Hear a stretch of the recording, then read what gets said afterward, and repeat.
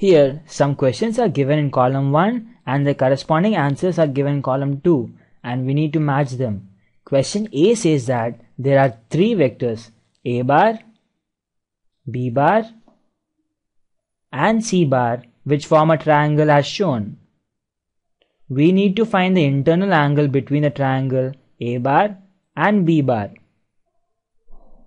which is theta.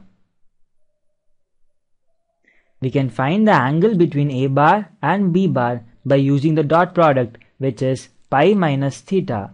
That is cos of pi minus theta is equal to A bar dot B bar divided by mod A into mod B which is equal to minus 1 plus 3 divided by root 4 into root 4 which is equal to 1 by 2 which is equal to cos of pi by 3 in the interval 0 to pi.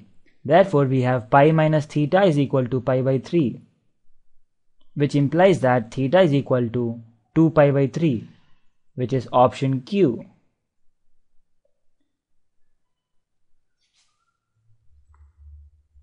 Question B can be rewritten as integral a to b f of x minus 3 into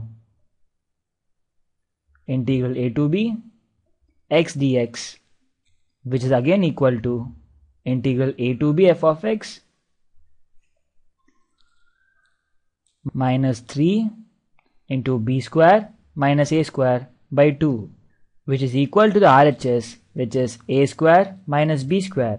Rearranging this we get integral a to b f of x dx is equal to b square minus a square divided by 2. Now this is possible only if f of x is equal to x. Therefore f of pi by 6 is equal to pi by 6 which is option P.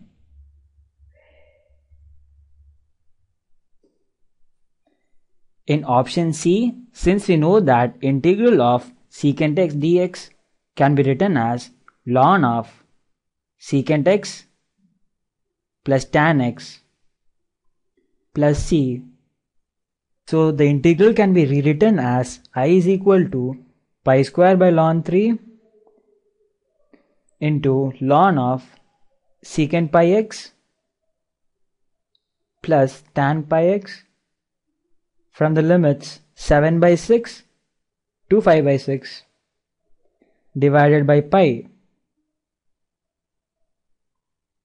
which can be expanded to pi by ln 3 into ln of secant 5 pi by 6 plus tan 5 pi by 6 minus ln of secant 7 pi by 6 plus tan of 7 pi by 6 which is equal to pi by ln 3 into ln of mod 3 by root 3 minus ln of 1 by root 3 which is equal to pi. Therefore, the answer is S.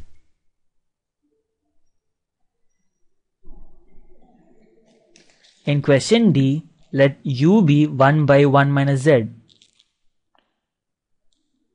And after rearranging, we get z as 1 minus 1 by u. Now we are given mod z is equal to 1. That is mod of 1 minus 1 by u is equal to 1 that is mod of u minus 1 is equal to mod of u which can also be equal to mod of u minus 0 that is the locus of u is a perpendicular bisector of line segment joining 0 and 1 and we can see that the argument of u will approach to pi by 2 as u tends to infinity but will never touch pi by 2 because z is not equal to 1 and u cannot be infinity. Therefore, theta max will be pi by 2. So the answer for question D is T.